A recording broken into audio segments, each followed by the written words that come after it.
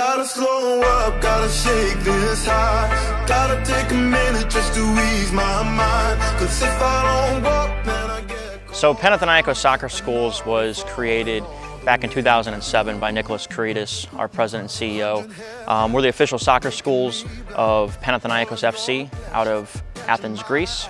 Um, they brought Panathinaikos to the States and expanded throughout the, uh, the world um, and launched the academies. So we've been in St. Louis since 2007. We started with one team and now we have uh, a little over 35 teams in our St. Louis Academy.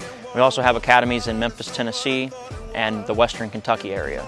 Um, we have a small academy, training academy in the Edwardsville, Illinois area, and we'll be launching other academies in the East uh, coming up in the next couple of years.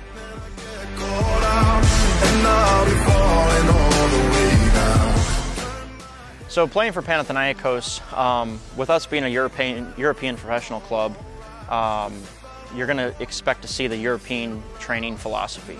Um, so we're built around training. We offer four nights of training a week, from team training to Coerver foot skill training, tactical training, speed, agility, strength training, and also finishing training. So any player or parent that comes to Panathinaikos can expect a lot of training um, with a lot of good trainers and the whole European flair.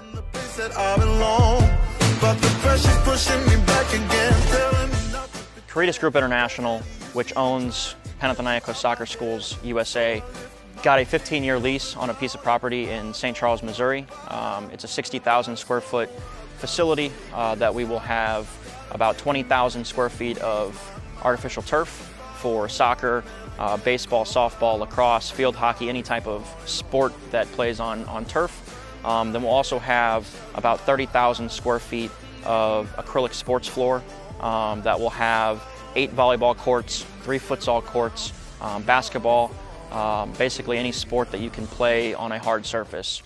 So the facility will be open uh, to the public. So any, any, soccer club, volleyball club, basketball club, anybody in the area um, is more than welcome to, to, use the facility at any time, uh, rent out the facility. We'll also do birthday parties, so, so it's definitely a public facility. Um, it's home of Panathinaikos soccer schools and also Panathinaikos volleyball schools um, that will be launching this fall.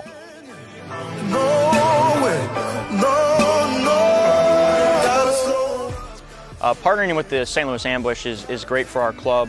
Um, you know, the Ambush is a great organization. Um, it's great for our players to be able to watch professional soccer. Um, everybody loves indoor soccer. Um, I grew up watching the St. Louis Ambush back in the 90s. Um, so it, it's great for our players to also get to experience that in their youth and go to the games and cheer on the team. Um, the Ambush is great in the community.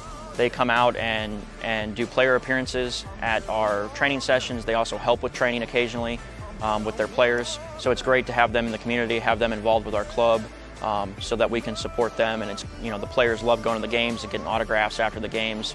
To see all the players that were at their training session that came out to do player appearances, they get to see them play and then get their autograph after the game. So the partnership is great and we're definitely looking forward to the 2015-16 uh, ambush season.